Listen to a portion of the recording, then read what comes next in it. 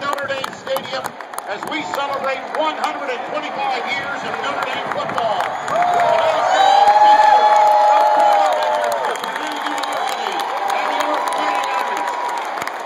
This is the 84th meeting of this State series that began in 1896. Notre Dame leads the series with 55 wins. There have been two ties. Purdue is coached by Danny Hope, the Irish by Brian Kelly. The officials on the field from the Big Ten.